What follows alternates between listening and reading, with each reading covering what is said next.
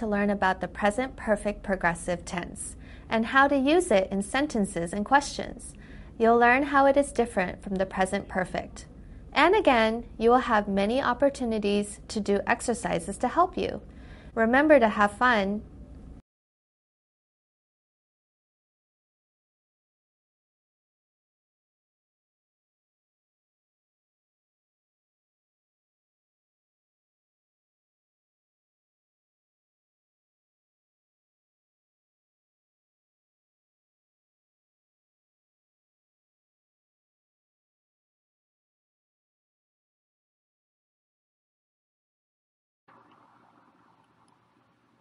Stative verbs, also known as non-action verbs.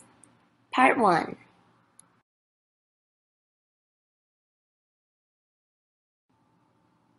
I am enjoying a beautiful day at the park.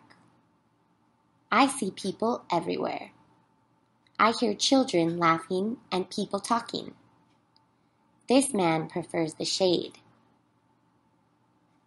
This woman likes the sun.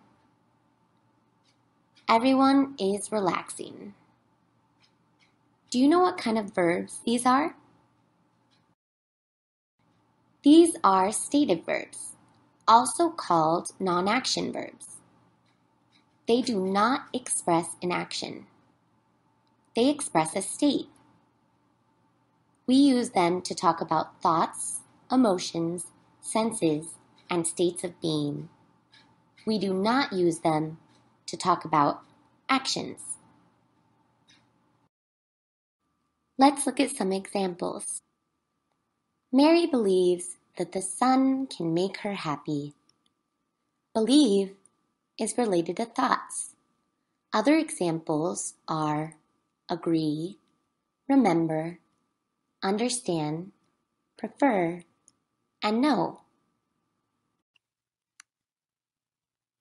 John hates the sun, so he is sitting in the shade. Hate is related to emotions. Other examples of stative verbs that are related to emotions are love, like, and dislike. I bet this dog is thinking, mmm, this grass tastes good. The verb taste is related to the senses. Other examples of stative verbs that are related to the senses are hear, smell, sound, see, feel, and look. Here in the park, almost everyone has a hat. The verb have is expressing a state of being. Other examples are be, appear, need, and want. Careful! Do not use verbs that express states with ing. Here are some examples of how you can use stative verbs correctly. The music sounds beautiful. Who wants something to drink? You are so handsome. Do you hear that? Do you know where mom went? We must not use ing with stative verbs. Notice none of those examples had ing.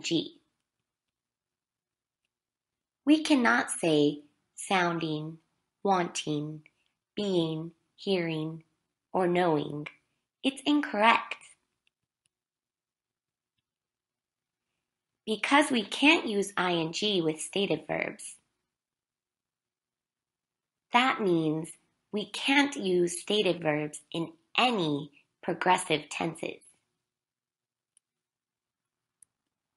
However, we can use action verbs with ing but you already knew that. For example, we can say, they are listening to music. They are eating food. A man is singing. The children are playing with each other.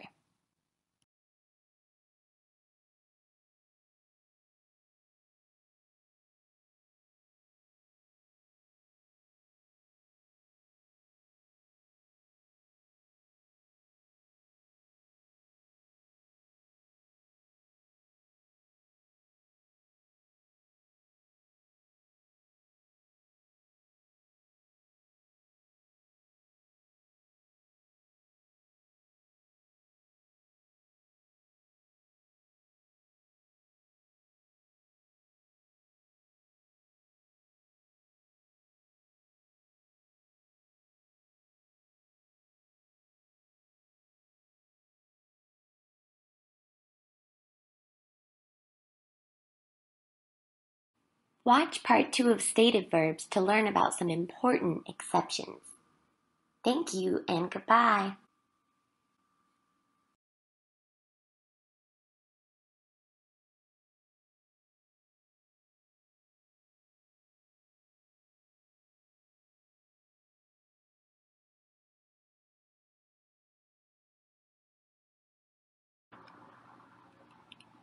Stative verbs. Part 2. Okay, there are some exceptions you should know about. Some verbs can express both states and actions, depending on the context. Take the verb think, for example. We can use think as an action verb or a verb of state. Let's take a look at how think can be used as an action verb. We can say, he is thinking about lunch. He is not thinking about class. In this case, we can use think with ing because it's expressing an action. However, if I say she thinks the teacher is boring, now I'm using think as a verb of state. Here, think means believe, so we cannot use it with ing. Be is another example. It can be used as an action verb and a verb of state. Bob is usually a good student, but today he is being disrespectful. Here, we can use be with ing to express that something is different than it normally is. Alex is the youngest in the class. Here, it's a verb of state.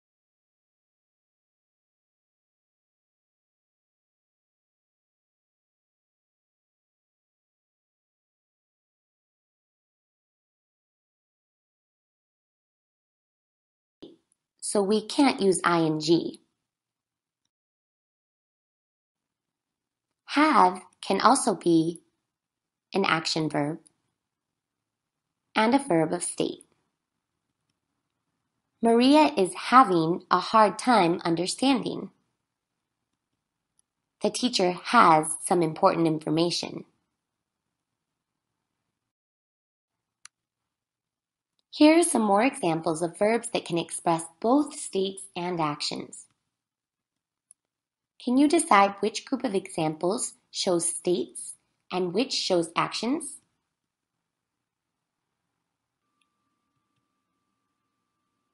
At the cafe.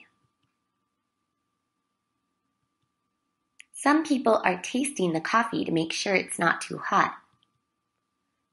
A man is smelling his food before he takes a bite. A woman is looking at a menu. The man and woman may fall in love, but right now they are just seeing each other.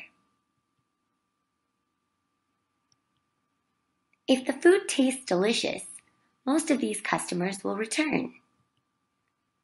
It smells wonderful at this cafe. These people look relaxed and happy. Do you see the man in the orange shirt?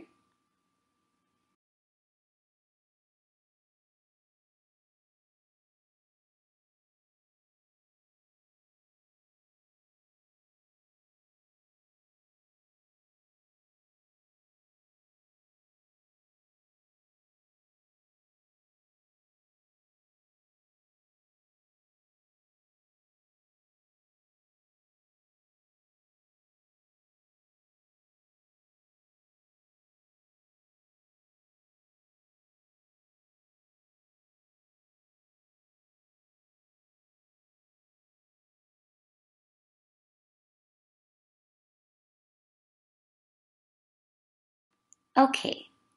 Do you know which sentences have action verbs? Yep, you're right. These ones do. We're talking about right now, describing a scene at a cafe. We can use the present progressive with these verbs because they're actions. What about the other sentences and the other verbs?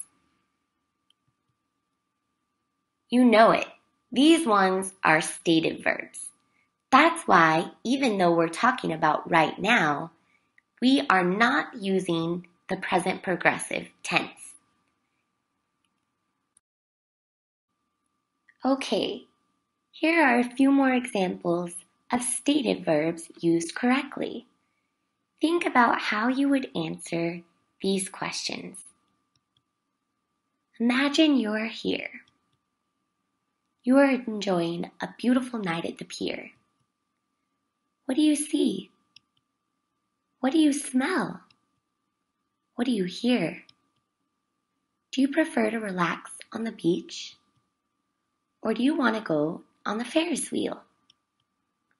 Use stative verbs and action verbs to describe the pier at night.